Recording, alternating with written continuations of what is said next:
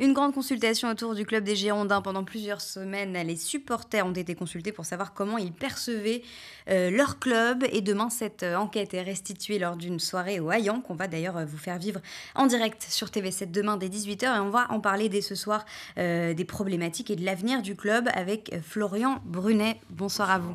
Vous êtes donc le porte-parole des, Ultramarines, un club de, supporters des, Girondins. Alors, est-ce que c'est une bonne chose déjà pour vous, ce genre de consultation Qu'est-ce qui peut en ressortir finalement? Bah, C'est une excellente chose. Euh, ils arrivent dans, un, dans, une, euh, institution.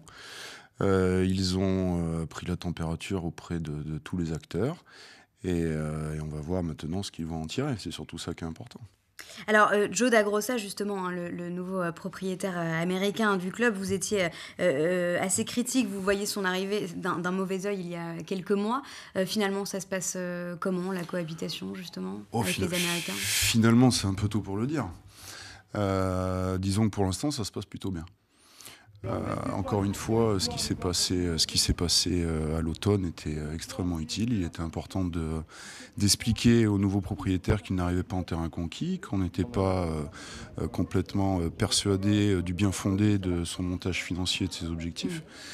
ça a permis de, de, mettre les bases à des, des relations finalement saines. Euh, et euh, depuis, euh, depuis maintenant plusieurs mois, on est en contact régulier, que ce soit avec Joe Dagrossa, avec Hugo Varela, avec Frédéric Longuepé. Et pour l'instant, le, dialogue se passe bien. et les premiers... Mieux qu'avant vous, vous trouvez que c'est mieux qu'avant? C'est mieux qu'avant. Ça se passait.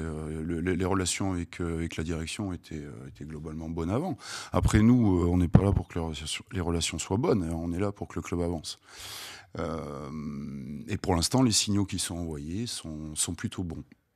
Maintenant, euh, tout cela est à confirmer. Hein. Oui, euh, on sait qu'il y a eu un, nouvel entraîneur hein, qui est arrivé il y a maintenant un mois, Paolo Souza. Est-ce que vous voyez une différence de management par rapport aux précédents entraîneurs? On voit une vraie différence. Euh, c'est vraiment quelque chose d'assez nouveau pour nous. Euh, ça faisait très longtemps qu'on n'avait pas eu euh, un entraîneur avec, une si, avec une si grosse expérience, avec un discours aussi bon. Un discours qui valorise le club, qui valorise les supporters.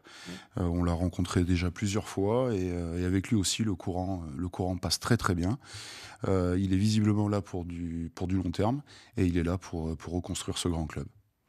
Pour Bordeaux-OM, il y avait 32 euh, 000 spectateurs euh, au Matmut qui, qui, peut compter jusqu'à 42 000. Jusqu'à 42 000 personnes. Euh, comment, faire, comment faire revenir les Bordelais au stade, Florian Brunet Comment on fait pour, pour que les, les, gens aient envie de revenir dans ce stade? Ah, Ça, c'est le discours qu'on tient à la nouvelle direction. La seule chose qui refera venir les Bordelais au stade, c'est l'équipe. Euh, tout, totalement, rien d'autre. Hein. Euh, le reste, euh, le reste, comment dire, c'est c'est des choses en plus, mais le plus important restera, restera le terrain. Il faut se souvenir qu'en 2010, Bordeaux remplissait le Parc Lescure quasiment à tous les matchs, puisqu'on n'était pas loin de 30 000 de moyenne à l'époque. La seule chose qui fera revenir les Bordelais au stade, c'est une équipe compétitive. Et surtout une équipe qui se bat pour le maillot. Qu'est-ce qu'il faut faire pour vous là bah, un, mercato, un mercato important. Justement, alors qu'est-ce que vous attendez euh, du, mercato, du mercato de cet été? Euh, des signaux sportifs forts. Euh, on voit bien qu'il y a un déficit de talent criant dans cette équipe. Il faut, il faut y apporter du sang neuf et, un recrutement important. Quels sont les postes à combler pour oh. vous? Majeure partie. Il n'y a qu'à voir notre résultat pour voir qu'il y a du travail. Notre classement plutôt.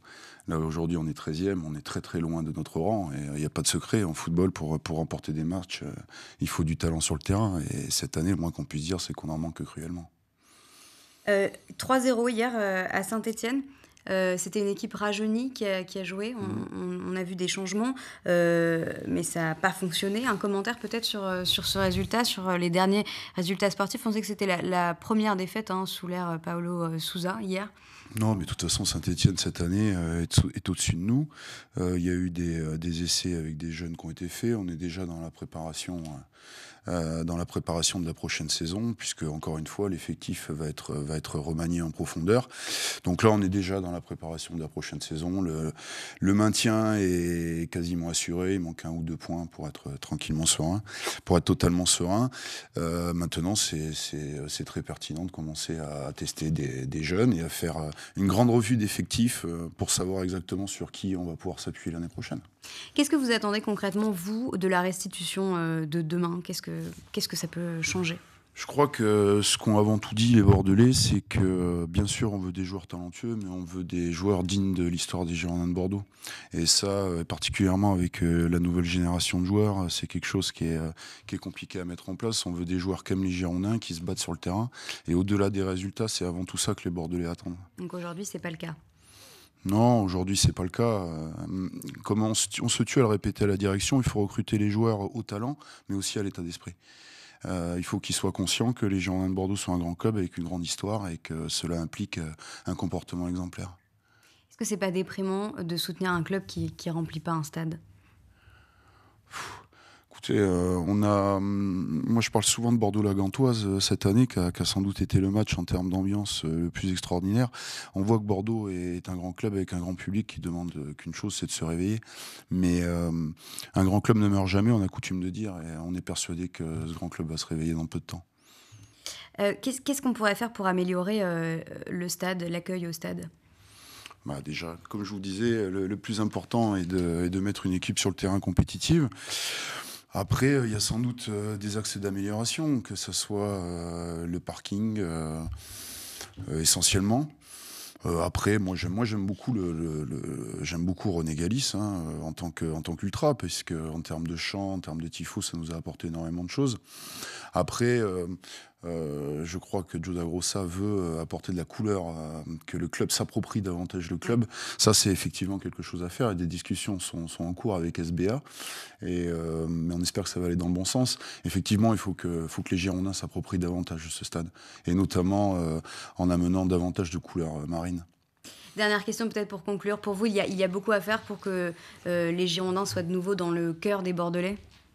Non, il n'y a pas beaucoup à faire. Il manque pas grand-chose. Euh, il faut faire un bon recrutement. Il faut rejouer les premières places avec, euh, encore une fois, avec les joueurs dignes de, ce maillot. Et les Bordelais reviendront très très vite au stade. Bordeaux est une vraie ville de foot, contrairement à ce que beaucoup de gens disent. Merci beaucoup, euh, Florian Brunet. On, rappelle que donc demain, une grande consultation qui est donc restituée demain au Hayan et qu'on pourra suivre sur TV7, soirée spéciale Girondin, donc à suivre à partir de 18h. Merci d'avoir été avec nous. On se retrouve dans un instant pour un nouveau journal. Thank you.